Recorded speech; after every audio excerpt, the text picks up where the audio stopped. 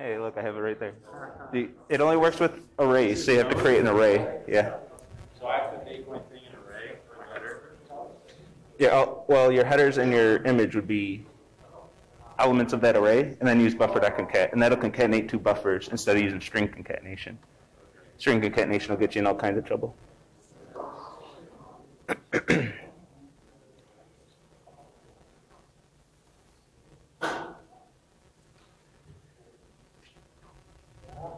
Okay. Oh, should. Keep forgetting to put this thing on. Okay, let's do this. So, uh, if anyone in the back, especially if you can't read this, if you can't see it, let me know. I can adjust. You know, I can make it bigger. Uh, I can put it into light mode if that's going to help. Uh, let me know uh, if you have trouble seeing it at all. So today is a demo day. I'm just going to give examples. We're going to hang out in the code all day. I have no slides for today or Friday.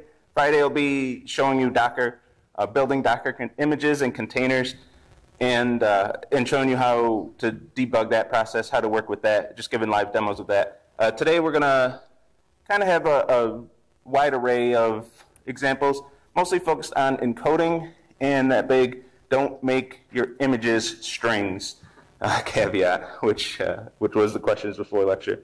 Uh, a reminder, I'm in the Discord channel in lecture, so if you have questions, especially if you can't see, you might not want to raise your hand and be like, hey, I can't see it. Uh, just say like, can you make it a little bigger?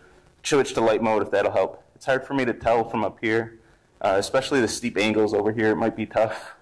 Um, I mean, if if you can't see that, you might want to you know switch over. But um, but let me know if there's anything on my end I can do to help.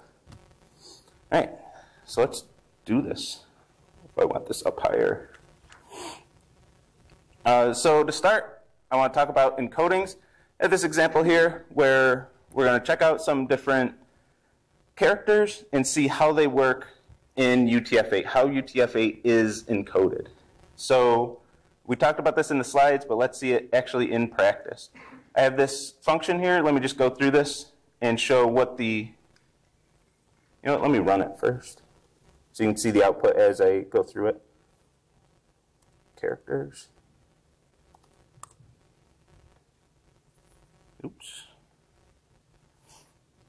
So I'm going to give this a string, x, and I have various strings that we're going to call this with to be able to see what this outputs, what this prints to the screen.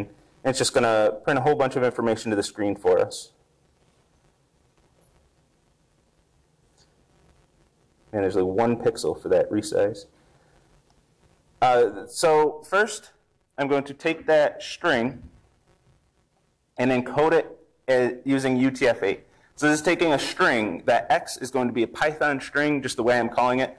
Uh, we don't have strong types, so we can't specify that but this is going to be a Python string. And we want to say, convert this Python string into a sequence of bytes. Give me just the bytes that represent this string using the UTF-8 encoding. UTF-8 is ubiquitous across all languages, across all programs, across all software. It's a standard. So no matter what string I give it, what language I'm using, if I give it the same string, the same sequence of characters, the UTF-8 bytes are going to be exactly the same coming out on the other end. So X encoded is going to be bytes. Actually, I want to print out one more thing because, to be honest, I forget off the top of my head. Oh, I shouldn't do this live. Print uh, type of, I believe it is in Python, X encoded. And we'll get the type of that thing.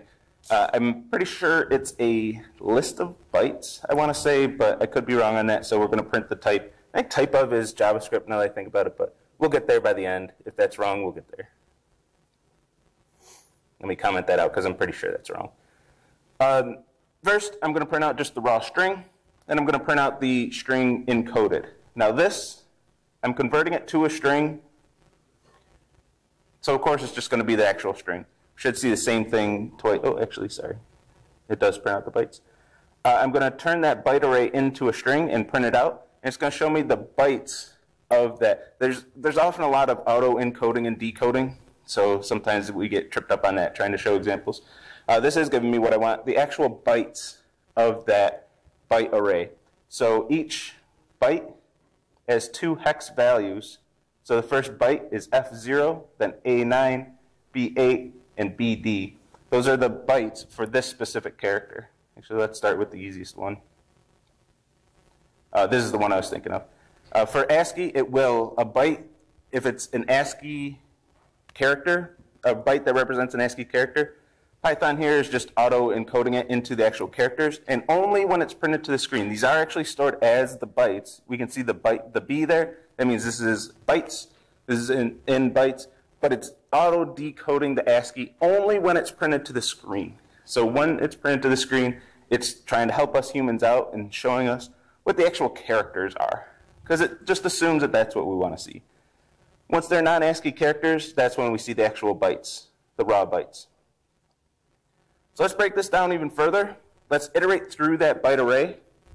Oh, by the way, this, is, this lecture is prime for questions. If you have any questions, uh, this is to help you code your homework. So let me know if there are questions. If there's something else you want to see, um, by all means, shout it out and uh, we'll take a look. And hopefully I can do it on the fly. But if I can't, I can't. Uh, and then we'll do it Friday. So I want to iterate over the bytes of X encoded. X encoded is some, I'll just say some data structure, some sequential data structure of bytes. I know that for sure. Uh, whatever actual Python type it ends up being, um, less important. But it's some sequence of bytes that we can iterate over. So I'm going to iterate over the bytes, and my variable p, don't know why I named that p, uh, is going to be an individual byte. And we'll see each individual byte of this sequence of bytes.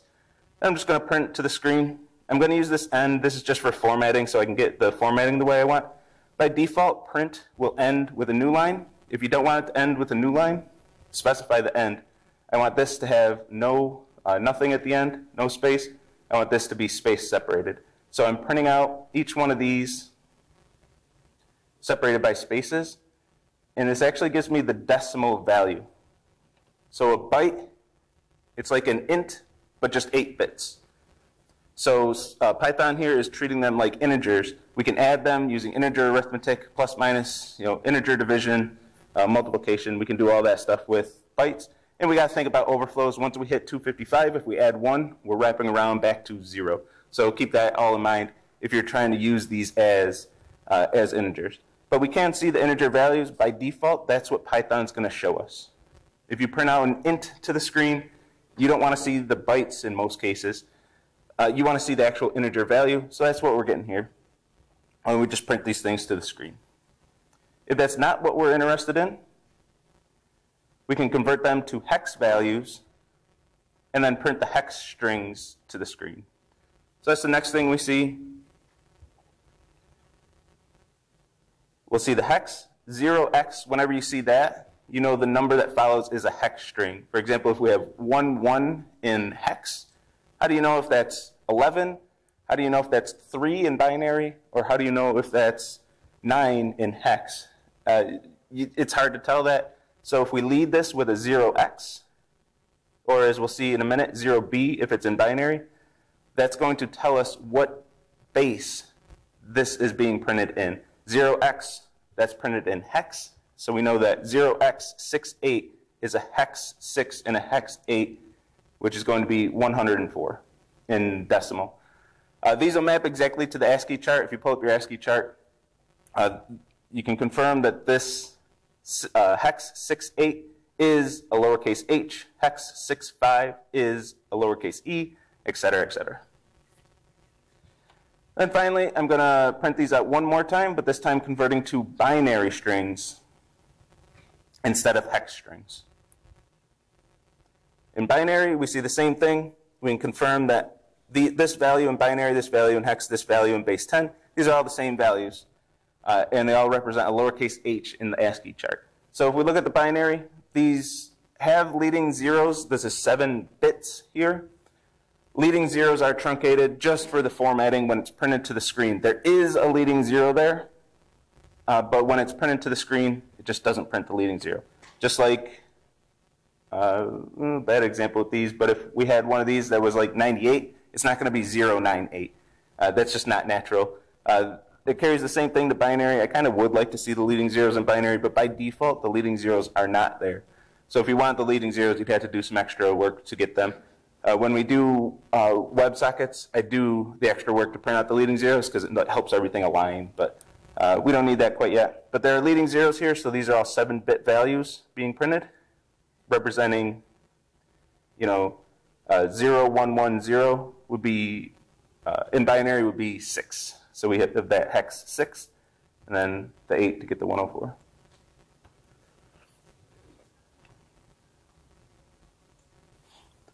And the important thing, this is the big thing that we need to know. I'm going to print out the length of the string.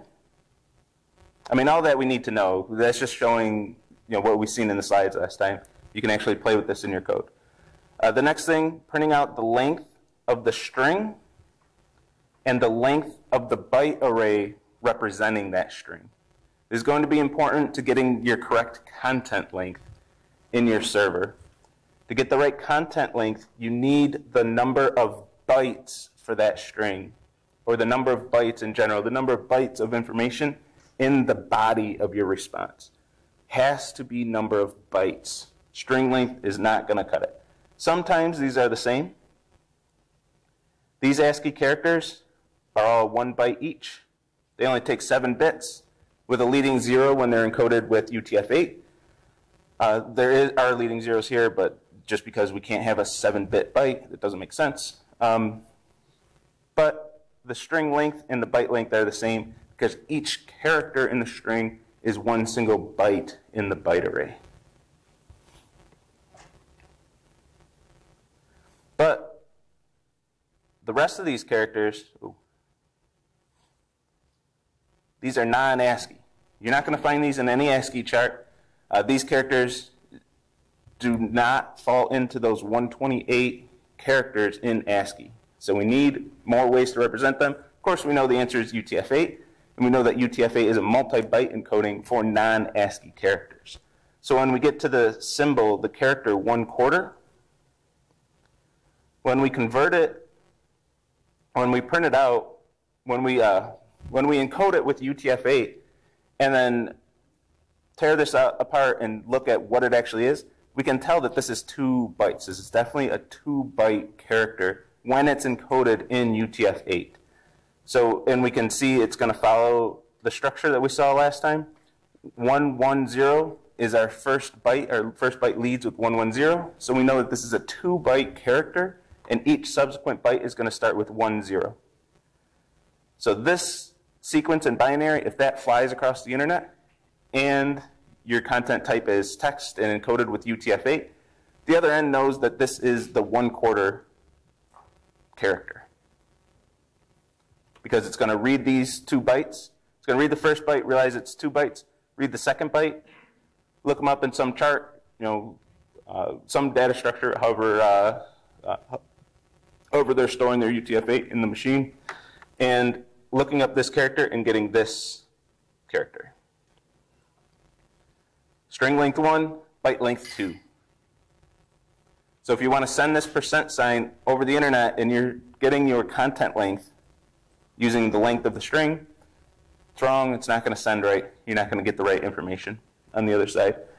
Uh, the browser will only read the first byte, and then it's going to get a UTF-8 encoding error or decoding error, and you're going to see one of them boxes. If you're lucky, the thing might just crash, but you're going to see one of them boxes when you see those squares or rectangles all over a page. Those are UTF-8 encoding or uh, decoding errors. The bytes, we were told it was encoded with UTF-8, but it wasn't proper UTF-8. We can't decode just this single byte into any character. It doesn't map to any character in UTF-8, so we get a decoding error. Don't know what to do, just, just print some box or something to show the user that something went wrong. If we have multiple characters, we're just going to get multiple, uh, more bytes. This is a, a little, uh, a little, what do I want to say, convoluted, I guess. Uh, on the first line, because the space, it's a proper ASCII byte, so the uh, so Python just printed out a space character. It said, hey, this byte looks like an ASCII character, it looks like a space, I'm going to print a space. Uh, but once we get into printing out the actual values, we see we get the 32, which will map to a, a blank space in ASCII. We get 194, 188, which is going to be our, percent, uh, our one quarter sign that we saw earlier. Then this euro symbol is going to be a three byte character. So our first byte for the, uh, for the euro symbol, 1110, so we know this is a three byte character. And two bytes that both start with 10, the continuation bytes. So other than those bits that I just highlighted, all the other information is the actual character code. And that's what will get looked up in the chart to be able to figure out what character it is, what specific character it is. String length is 3 here, byte length 6. If you have a lot of non-English text and you're taking string length, I mean, you could have half, your content length being half of the actual bytes that you're sending. You're only going to get like half of your content sometimes. Or for our last example, you might get a quarter of your content. This is a four byte character. Oops, that's a three byte character. This is another three byte character. Uh, this is a, a, four byte character. We have 1111101010. Four bytes for one character. If you have a lot of four byte characters on your website and you're saying, oh yeah, content length string, uh, the length of the string, you're only going to have a quarter of your text appearing on the screen. You're going to be wondering what happens, what happened there. And the last character is likely to have a decoding error. So you're going to have a quarter of your text and then a rectangle and then nothing else. Uh, you're going to be hopefully remembering back to today and Monday's lecture and going, oh yeah, byte length, not string length. And then you'll have your byte length as the content length, and then you'll be fine after that.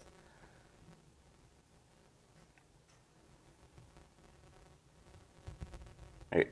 Any questions so far?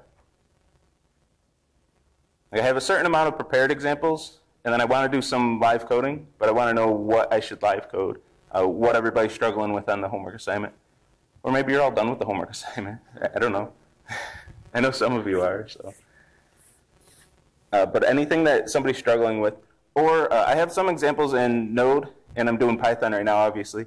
Um, but I don't, until homework one, I don't know what everybody's using for a language. So if there's another language that a lot of you are using, I'd like to know about that too, and I can try to, on the fly, come up with some examples. Uh, I did showed some Scala earlier. Maybe I'll jump back to Scala today and do some UTF-8 in Scala. Maybe, yeah. So should we, um, if our, whatever we use in our language to send an image, mm -hmm. should we our entire response that same type and just send that type? Or should we do the you're, so when you send the image, the entire body of the response is going to be only that image, only the bytes of that image. Is that your question? Right. Yeah, but like, because when in Node you concat, the whole thing's a buffer. Yeah. So you're sending over a buffer, and the browser is able to interpret that. So should so, our responses be buffers? Yeah. So buffers in JavaScript is a byte sequence. So when you send that over the wire, it's just a sequence of bytes. Uh, so that's what we want to work with in Node, is buffers. So instead of having like the hello text plain, um, like the whole thing just being a string, it should be a buffer. So your headers will still be a string, but then you'll do buffer.from and convert the string into a buffer, and then you do buffer. you know, read your image as a buffer, and then concatenate those two buffers, and then send them all in bytes. But, uh, and we'll do, I have an image example as well. But the images you want to work with in bytes. So that means your string, whatever language you're working in, your string, your headers are going to be a string. Your image is going to be some sequence of bytes, whatever data structure your language uses. And then you have to concatenate those two uh, sequence of bytes, sequences of bytes in the world of bytes, not in the world of strings. That's the most common way of messing up your image is accidentally converting your image into a string and then back into bytes. Uh, it, I know I said it in lecture, I know all of you know I'm not going to convert my image to a string, but it's very easy to do on accident. That's the big issue that we have. It's easy to do on accident. Uh, and it's tough to know okay, I have this array of, you know, this data structure of bytes for my image, but I also have to combine it with the strings. Figuring out exactly how to do that in your language can be a little tricky too. Yes? Do you have any like tips when using Scala or IntelliJ for this homework or like a quality of life type Uh, practices? I th- for Scala, I think Scala is actually uh, Scala actually takes care of a lot of this in a really clean way. I, I don't have any tips off the top of my head, but Scala works in bytes. I think pretty naturally. Maybe maybe I'm just uh, biased because I've been using Scala in 116 so long. Um, like when you get the data, it's in a nice. Uh, let me rephrase this. I think uh, because it's strongly typed, it really helps out. Uh, it's very hard to accidentally convert something into a string in Scala. You just can't really do that. Uh, it's not going to let you make that mistake. Uh, so in that sense, it's easier because it forces you to keep track of your types. In loosely typed languages like JavaScript and Python, it's really easy to just accidentally convert something into a different type because you have any types. Um, but specific tips, not off the top of my head. Um, but I can jump to, I might jump to Scala by the end of today if I think of something I'll point it out. Yep. Yeah, the HTML, CSS, and JavaScript are three different responses. So your HTML has those, those other files linked, and when the browser gets the HTML, it's going to look at those links and then send three more requests, or two more, three more with the image. It's going to send more requests. So your server, when it gets a request for the HTML, it says, okay, I got a request for the HTML, I'm sending the HTML. You don't think ahead at all. You don't think, oh, this user's also going to need my CSS JavaScript in this picture of a flamingo. You don't think ahead like that. You just have, if they're requesting the HTML, send the HTML. If they're requesting the CSS, send the CSS. If they're requesting the JavaScript, send the JavaScript. If they're requesting an image, send whatever image they're requesting. And that's it. And then the browser is going to send four separate requests, and the browser is going to handle that end. But you set, handle each request separately.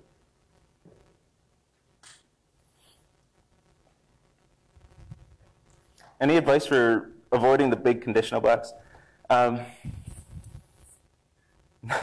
it, it's, it is tricky. I do, I- know I recommend doing it, but it is pretty tricky to set up. Uh, the best advice I can give is use functional programming and, uh, and regular expressions and say if this regular expression matches the path that was requested, then call this function to be able to get the return value or the, the response.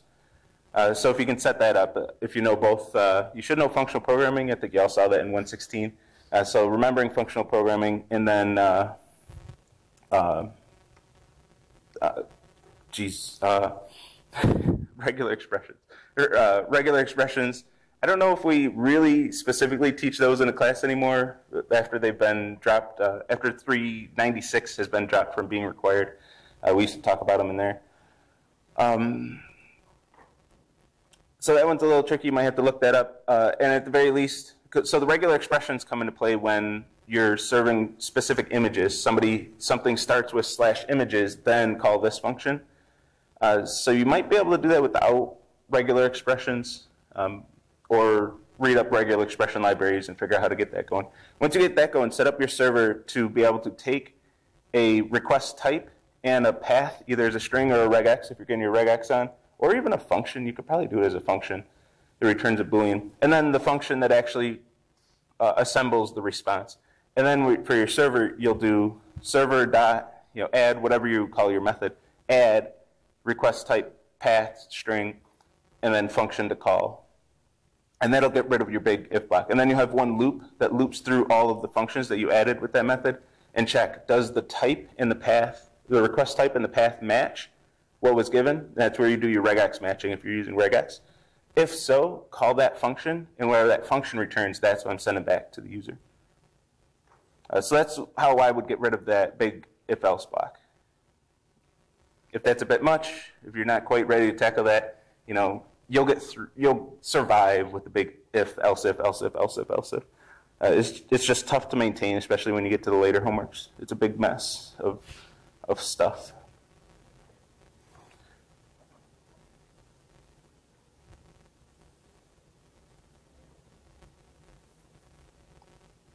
You go over sending the HTML files to the client, open their requests. Um, maybe let me let me circle back to that one if there's time. Uh, sending the HTML will be like if uh, if request type equals get and the path equals slash, then you're going to send the HTML. Or do you mean the? Oh, I think I know what you're saying. Actually, sending the file. Yeah, I, I can talk about that in a second. I'm about to talk into. I'm about to transition into some file I/O stuff, uh, so I can lump that in there. HTML, the HTML, CSS, and JavaScript is similar to the image, but it's a lot simpler because if you convert it to a string, that's fine because it's a string. Like all the, the content of those files is just a string. Uh, so if you convert it to a string and just concatenate it to your headers, that's fine. Uh, the image is where it gets a bit trickier because you have to work in bytes. You can keep your HTML, CSS, and JavaScript in bytes and do the same thing you do as you do for images as well. But um,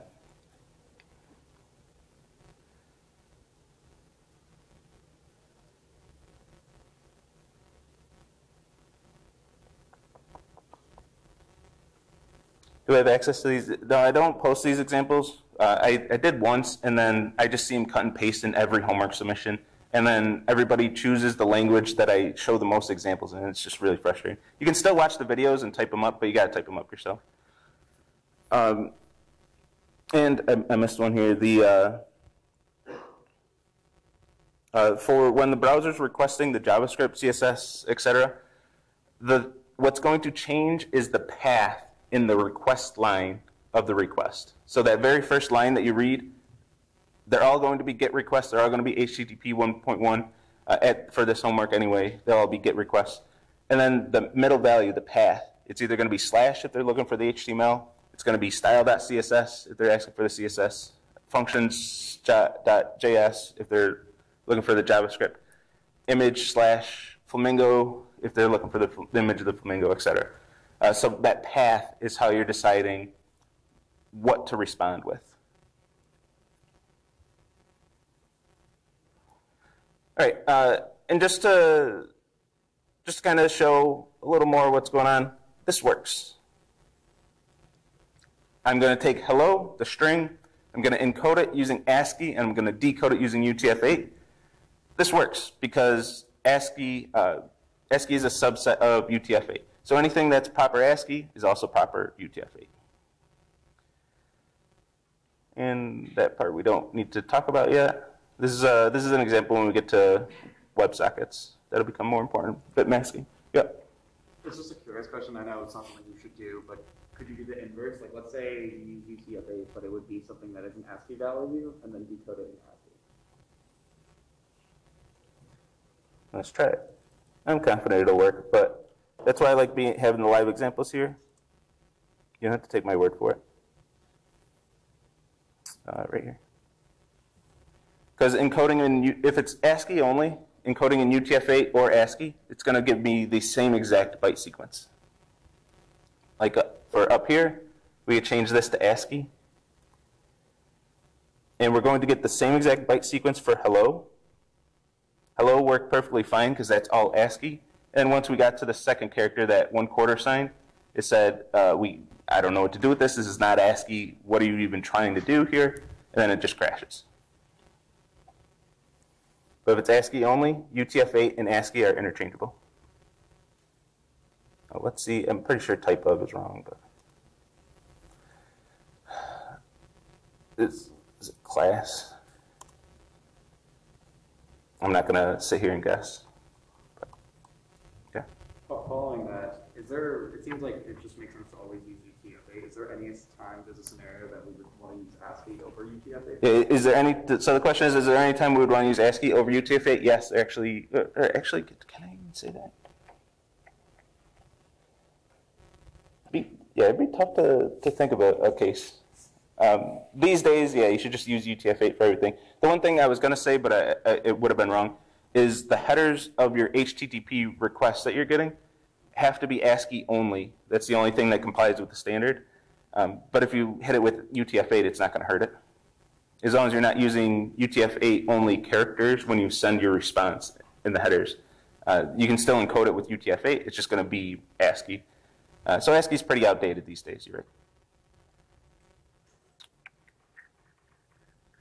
Uh, but the nice thing about UTF-8 is it's backward compatible. All that stuff that's been written in ASCII, it all still works. That's what's really nice about UTF-8. One nice thing, for at least for us in uh, English-speaking countries. All right, so let's talk about files. So I have this quick example, and if I can get it aligned the way I want. Have this quick example, again in Python, where I just want to copy a file. Uh, not something you necessarily have to do for your servers, but just as a proof of concept of you know, showing how we're going to read a file and work with those files. So the big thing here is I want to read in binary mode. Each language is going to have some way of specifying this. This is pretty ubiquitous syntax. Uh, I'm going to open this in read-only mode in binary. So I'm going to read this in binary. If I don't specify that, some languages, Python, well, I'm almost positive Python included, but we can just run it and find out, uh, will default to reading the file as a string. We don't want to read it as a string because this is an image. For your HTML, CSS, JavaScript, you can get away with reading it as a string. That's perfectly fine. Then use string concatenation to concatenate it with your headers and then ship it across the wire. That's perfectly fine. That's just like sending your HTML, CSS, and JavaScript is just like your slash hello in Objective-1. You're just sending a string. The only difference is you're getting that string by reading a file instead of just typing hello. That's the only difference. You read the file, you convert that file to a string if you want, concatenate the string, convert that to a byte sequence, and then ship it. That's perfectly fine. That's perfectly acceptable. When we get to the image, we have to make sure we're reading the bytes of the image. If we try to read this as a string, we're going to get in trouble. So let me first delete this. Don't ask me again. I'm sure. So I have this image, a PNG, and I want to copy that into a new file named copy.png. I'm going to, you know, hopefully this is, is, nothing new. This is since 115 you've been doing this stuff. Uh, but I'm going to open the file. I'm going to read the bytes of the file. This is going to read all the entirety of the file. So now I have B, which is a byte sequence containing all of the bytes of that file. And then I'm going to write, I'm going to open another file in write mode in binary and just write all of B, all of the contents to that second file. If I run this, oops, I was in the right directory. I have it all in the encodings directory. If we run this, once the editor catches up, I'll have an exact copy of that image.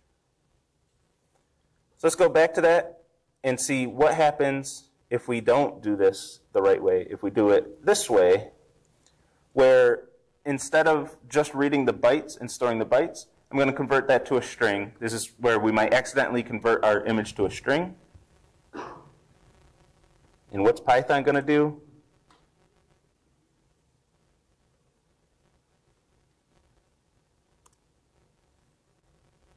I actually expected it to do something different. Um, but our image is definitely broken. So once we converted it, I thought Python crashed there. Maybe the latest version of Python doesn't crash anymore. Uh, I thought it crashed with a UTF-8 decoding error. But uh, we definitely didn't get our image for sure. That's never going to happen. We're never going to get our image by doing this because when we tried to decode the bytes of this file using UTF-8, UTF-8 is the default decoding for, uh, for Python. So when I say str, this, these bytes, it's trying to use UTF-8 to decode those bytes. Well, those bytes are not UTF-8 encoded. They're not proper UTF-8. So it doesn't know what to do. It doesn't know how to come up with a string. I'm surprised it even did anything. What did we even get here?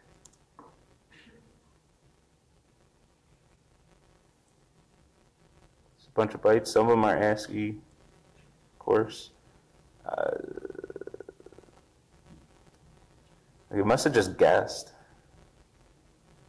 and just tried to encode that using UTF-8. But anyway, we certainly are never going to get our image doing that. unless by some absolute miracle our image happened to be a proper UTF-8 string, uh, a sequence of bytes, which would be just astronomical odds. It's not going to happen. Uh, so we didn't get our file. Uh, and I want to check, if I just read this like this,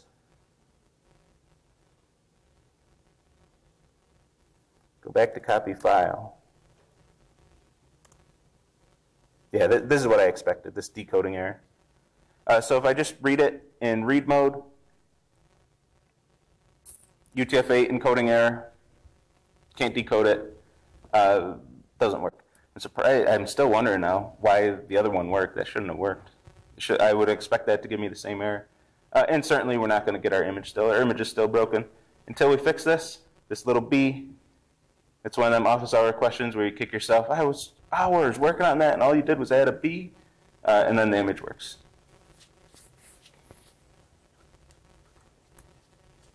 Yes? I know later on we're gonna go, we're gonna upload files to our, our webpage. Mhm. Um, when we do that, is there like a way to limit the amount of files inputted? And also, is there like, if multiple users are trying to upload a file at the same time, is that something you need to handle? Uh, multiple users uploading images at the same time is not something you have to handle. Uh, the limiting the number of images that are uploaded, like the total number of images, uh, my, my answer is you can do anything. Anything you can code, you can do. So you can have some counter that increments and then say if that counter over some value, you know, just don't allow uploads anymore. Certainly something we can do. It's not something you have to do for the homework though. Uh, but yeah, if somebody tries to DOS your server, send a, a million images with a script, yeah, it's something you might want to prevent from. Are we using a particular database for it? Uh, not for that assignment, uh, but for homework three, you'll start using a database. There's enough to worry about in homework two. Homework two's it's it's where things get real. Uh, so I don't want to add anything more, anything too much to that. Uh, image uploads is that's where you, uh, so homework two the the overview of it is users have to be able to upload images to your server and you have to host those images for other users and have a page where you can see all the uploaded images, uh, which is no small feat when you're starting with just a TCP socket. It's um, so uh, yeah, I don't want to add a database into that one.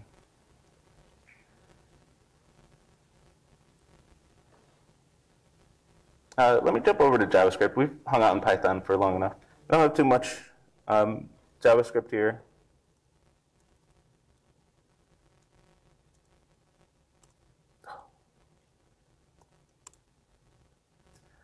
Uh, I too much JavaScript here. This, this is part of a different example. I'll delete it for now.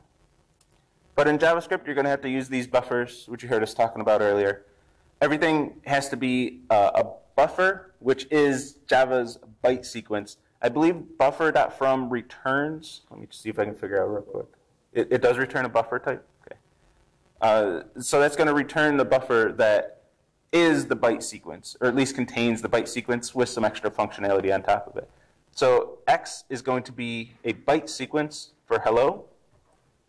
And I have my character here, which is a byte sequence in Y. If I look at y.length, I get the number of bytes for that. I'm getting the number of bytes. So when I want to formulate my response in JavaScript, in Node, especially when I have the images for Objective 5, I want to get the image as a buffer and just get the bytes of that image. And then I want to take my headers. This will be, you know, uh, HTTP 1.1 OK, oops, 200 OK, slash R slash N. Uh, yeah, thank you. Content type, image, JPEG.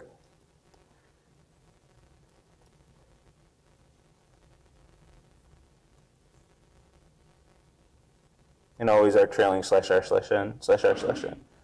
Uh, so this would be, these would be my headers, and say these are, we'll just have, use some imagination here, these are the bytes of our image. We need to concatenate the headers, which are a string, with some bytes that represent our image. So we cannot do that in the world of strings. If we do that,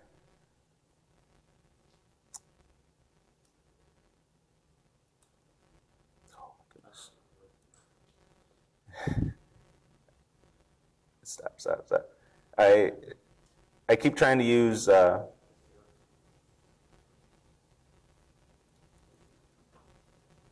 I don't want to use str explicitly though, because I just want to. I lost a, a print. I keep using IntelliJ keyboard shortcuts is where I keep getting in trouble there. Uh, and you know what? Let's do it without the dot length as well. Just to see what we get. I'm not sure what we get in this one. Uh, so we have, we might get everything just because this is a string. Let me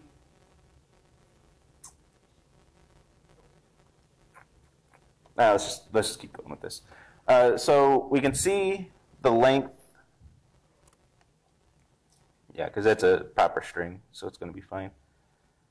But when we concatenate these, whenever we do plus here, oh, this does show my point at least. So whenever we do plus here, so this is the concatenated response. This is our full response uh, where you would take the length and then splice that into the content length up there. Um, what am I doing? Let me do this. Let me just do the full example. I'm trying to uh, half-ass something there. So content length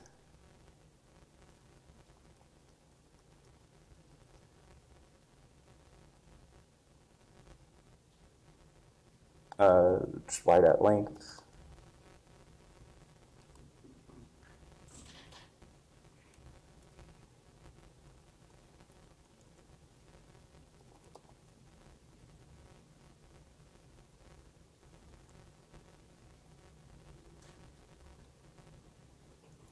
Let's do this in the right order here.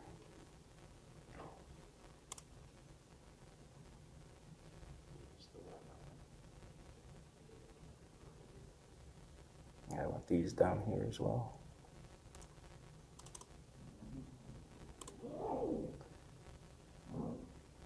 So I'm going to create a buffer, whatever the content is, which will be an image for Objective 5. This is where this really comes into play. Uh, and Objective 4, where you're getting the right content length. But I want to create this as a buffer, not a string, when I get its length. If I do just this character, that length, because here I got content length 4, that's what I want. It's a 4 byte, 4 byte character. If I just do the length of that, which somehow gave me 2. I expect that to give me 1, but you know what, whatever. It's wrong, we know that much. We want to get the right content length there.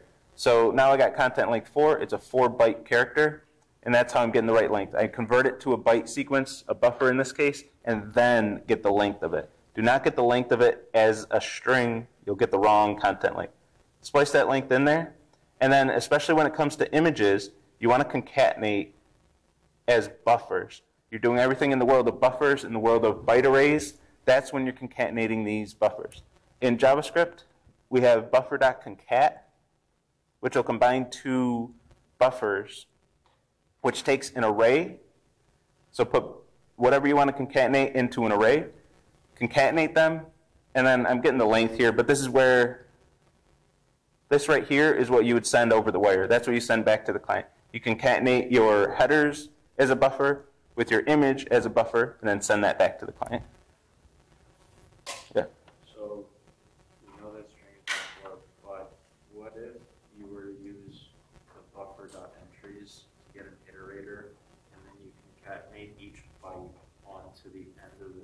I mean, Why doesn't that work?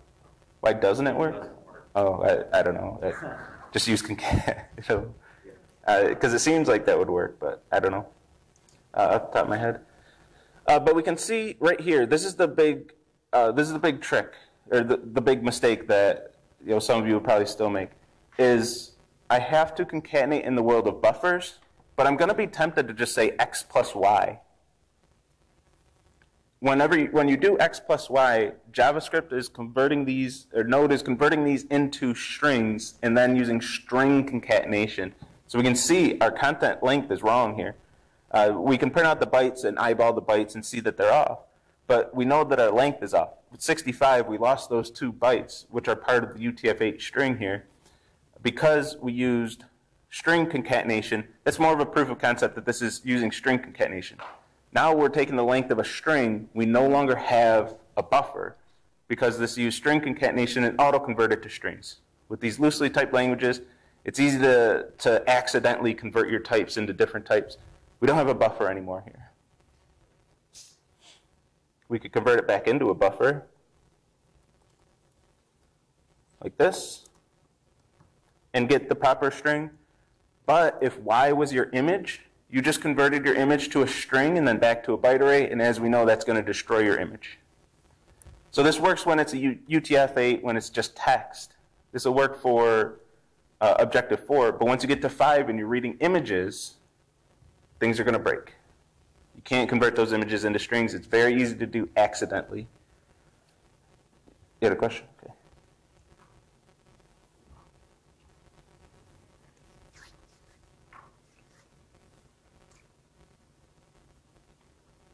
Anything else? Anything somebody's tripped up on on the homework that today didn't help? Anything else I can try to demo on the fly? I want to answer all the office hours questions today, today and Friday. Yes. You said instead of doing like a bunch of um, like if statements for the different tasks, just like regular expressions. That would be like the use for that. Yeah, uh, that's what I recommend. If you're if you want to get rid of that big if else if else if block, uh, I would use regular expressions with functional programming. There are other ways to do it, but that's the way uh, I would approach it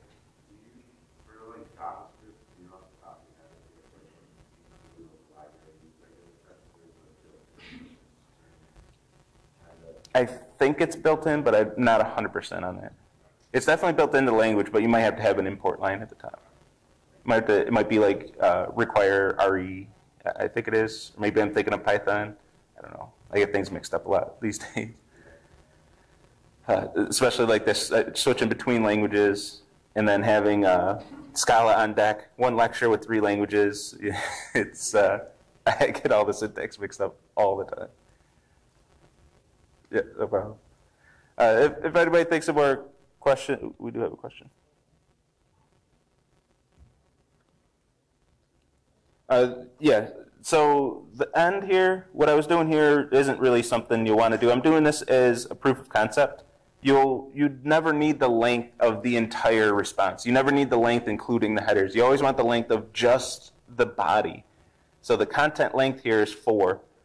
You never have to compute this. I'm, I was just doing this to show as uh, you know the simplest way I could think of to show that this is converting to a string because our lengths are wrong. This is the length of a string, and this is the length of number of bytes, the length of the byte array. Uh, so that's not something you have to do. You never need to know the length of the entire response, including headers. I'm just doing that as an example. Yes. Is there a maximum content length? Like, is there a Yeah. certain amount of- Uh, maximum content length? No. No. Uh, there is a maximum length to the headers. Like if your headers are too big. Uh, and I, by the way, does anybody else get this? I get this all the time on the hub. I keep getting requests, uh, requests too large because it has this uh, several K size cookie that it puts in the headers, and I actually exceed that, uh, the header length. I don't know why it does it to me. I don't know. I haven't heard anybody else complain about that. I have to delete my cookies and then try it again. Do you have that? Did you? All right, I'm not the only one. I have company. Uh, I, I've only seen it in Opera. When I switch to Chrome, I don't see that. So it might be something with the browser. Or are you using Opera by chance? Okay. So so it must it must be a bigger problem then. Uh, yeah, I, I don't know. That drives me nuts. If you see that and you don't know what to do, clear your cookies or at least delete that huge one, uh, and then send the request again. Uh, but yeah, we're, we're out of time anyway. So if you have more questions, hit me on the, the Discord or something. So I give me a heads up so I can prepare some lecture content if you want to see it in lecture. Other than that, I'll see you Friday.